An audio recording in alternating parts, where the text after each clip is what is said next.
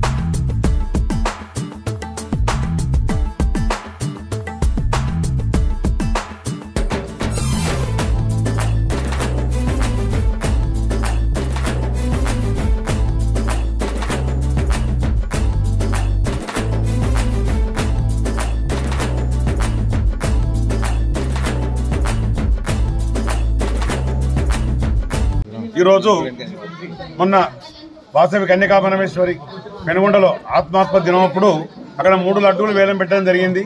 భగవంతుని కృప వల్ల తిరుపతి వాసి అక్కడ ఉండి అన్న ఈరోజు లడ్డు వేలం పెడుతున్నానంటే ఆ లడ్డు వేలాన్ని యాభై ఒక్క వెయ్యికి ఒకటి నగరేశ్వరునికి ఒకటి మహిషాసుర మర్దని ఒకటి వాసవి కన్యకా పరమేశ్వరి.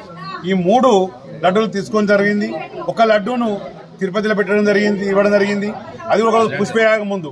రెండవ లడ్డూను సిద్దిపేటలో కన్యకా పరమేశ్వరి అంటే రాబోయే కాలంలో తెలంగాణ పెనుగొండగా రూపుదిద్దాలన్న ఆలోచనతోని ఆ పాలకవర్గానికి అప్పచెప్పడం జరిగింది. మూడవది ఈ ఉస్నాబాద్. ఉస్నాబాద్ పుట్టపల్లి రాజేశ్వర స్వామికి మా ఫాదర్ మా తండ్రి గారు మురచెట్టి వెంకటేశ్వర గుప్తా గారు పంతొమ్మిది వందల తొంభై ఆరు నుంచి అధ్యక్షుడు ఉండి రెండు వేల తొమ్మిది పరమపదించేంత వరకు కూడా అధ్యక్షుడు ఉన్న సంగతి పట్టణ ప్రజలకు ఉస్నాబాద్ పట్టణ ప్రజల పరిసర ప్రాంత ప్రజలు అందరికీ తెలుసు కాబట్టి అదే అదే అతని పరంపరనే అతను చేసుకున్న పుణ్యమే నన్ను ఈ విధంగా దక్కించి ఇదే మళ్ళీ వాస కనకపరేశ్వరికి హుస్నాబాద్కు అప్పయపడం జరిగింది.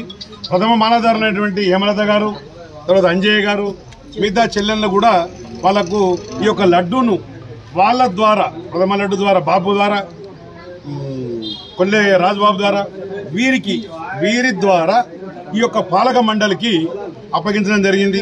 ఓం నమ్మ వెంకటేశాయ జై వాసవి మాత జై జయ వాసవి రాష్ట్ర హిందూ సేన మన వ్యవస్థాపకులు పరిపూర్ణ స్వామి గారు జాతీయ అధ్యక్షులు కుసంపూడి రవీంద్ర గారు ఉన్నారు.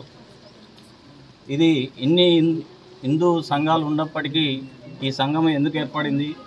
దీని గురించి ఇంకా పట్టణాలలో తెలియదు. ఇప్పటికీ పన్నెండు జిల్లాల్లో కమిటీలు వేయడం జరిగింది. ఈ సంస్థ అనేది దేవాలయాల పునరుద్ధరణ వాటిని రక్షించుకోవడము మన హిందూ ధర్మాన్ని కాపాడుకోవడము ఇటువంటి కార్యక్రమాలు చేస్తున్నాము. ఆ ఉద్దేశంలో భాగంగానే ఇక్కడ హుస్నాబాద్ మండలంలో కూడా కమిటీ వేయాలని మా అధ్యక్షుల వారు సూచించారు. వారి కోరిక మేరకు ఇక్కడ కూడా త్వరలో కమిటీలు వేస్తున్నాము ఆసక్తి ఉన్నవారు మా నంబర్కు ఫోన్ చేయొచ్చు మా నంబర్ తీసుకోవచ్చు. హిందూ ధర్మాన్ని కాపాడుకోవడం ప్రతి ఒక్కరి బాధ్యత. ఈ ఇప్పటి ఈ డెబ్బై సంవత్సరాల స్వతంత్ర భారతదేశంలో ఇది మెజార్టీ దేశం అయినప్పటికీ అయినప్పటికీ హిందువుల దేశం అయి అయినప్పటికీ మనము మైనార్టీల దాడులను మనము భరించవలసి వస్తున్నది. ఇంకా ఎన్ని రోజులు ఈ భరిస్తాము? మన హిందువులము సంఘటిత శక్తిగా మారి మన హిందూ దేశంగా హిందుస్థాన్గా మనది మనము మన హిందూ ధర్మాన్ని కాపాడుకోవడానికి అందరూ ముందుకు రావాలని ఈ సందర్భంగా మీ అందరినీ వేడుకుంటున్నాను. జై వాసవి. సిద్దిపేట జిల్లా బెజ్జంకి మండల కేంద్రంలో ఎమ్మెల్యే రసమై బాలకిషన్ కందుల కొనుగోలు కేంద్రాన్ని ప్రారంభించారు. ఈ కార్యక్రమంలో మార్కెట్ కమిటీ చైర్మన్ తదితరులు పాల్గొన్నారు.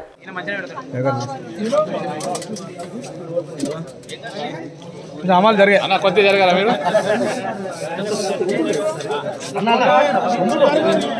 బతుకమ్మ పండుగ మహిళా సంఘం కంటే మన బతుకమ్మ ఆడు.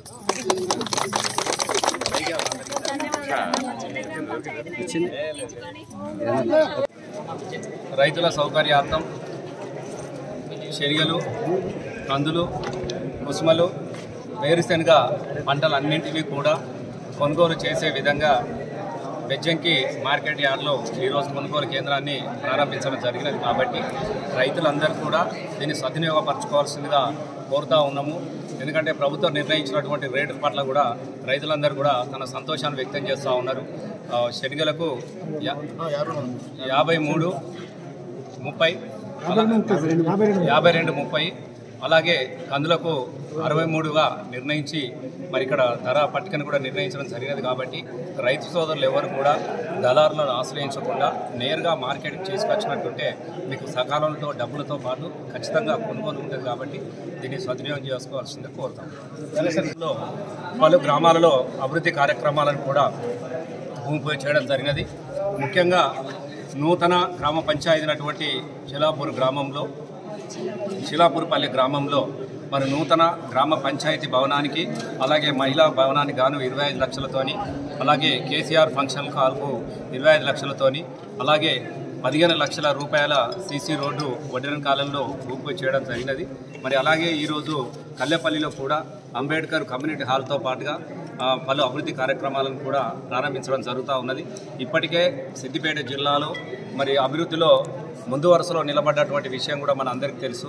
అలాగే ఇంకొకరిని చేయాల్సినటువంటి పనులను కూడా ఖచ్చితంగా మార్చి ఏప్రిల్ వరకల్నే అంబేద్కర్ పుట్టినరోజు వరకు పూర్తి స్థాయిలో మేము ఏవేవైతే నిర్ణయించుకున్నామో అన్ని అభివృద్ధి పనులను కూడా పూర్తి చేయాలనేటటువంటి లక్ష్యాన్ని పెట్టుకొని పనిచేయడం జరుగుతుంది.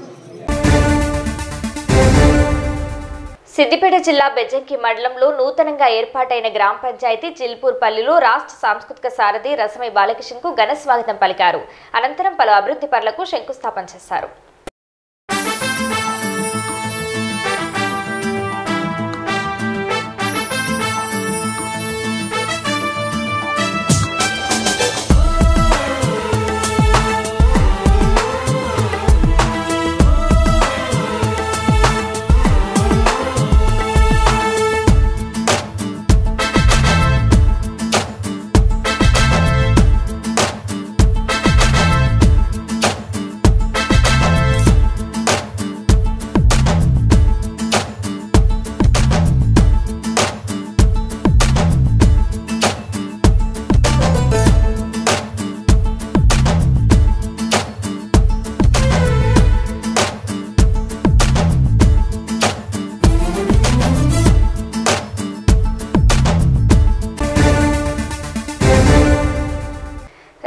సిరిసిల్ల జిల్లా ముస్తాబాద్ మండలం బదనకల్ గ్రామంలో జరుగుతున్న అభివృద్ధి పనులను మండల పరిషత్ అభివృద్ధి అధికారి రమాదేవి పర్యవేక్షించారు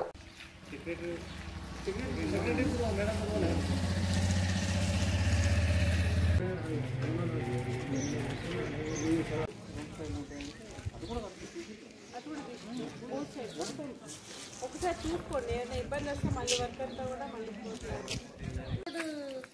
వేసిన అతను కాంట్రాక్ట్ ఉంటుంది కదా లక్షలు పెట్టి ఇస్తుంది. ఒక కనీసం ఇల్లు అంట కదా. పదిహేను రోజుల నుంచి ఇన్వెస్ట్ చేస్తున్నాం. అందుకే మేము ఇవ్వమంటే చేసారు నిన్న చేసారు అసలు ఇక్కడ వేసిందా మీరు పర్ఫెక్ట్ వేస్తే దీన్ని ఆనవాళ్ళు ఏం కనబడతలేవు కదా. పదిహేను భాగంగా బంధకల్ గ్రామాన్ని సందర్శించడం జరిగింది. పల్లె ప్రగతిలో అంశాలైన క్రిమిటోరియా కంపోస్ట్ ప్లాంటేషన్ శానిటేషన్ పరిశీలించడం జరిగింది. అలాగే సీసీ రోడ్ల నిర్మాణం మురికి కాలువల నిర్మాణాలను కూడా పరిశీలించడం జరిగింది.